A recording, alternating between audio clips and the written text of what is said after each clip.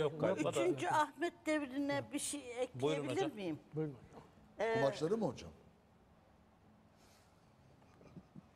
Buyurun. Tut sana. evet. Evet.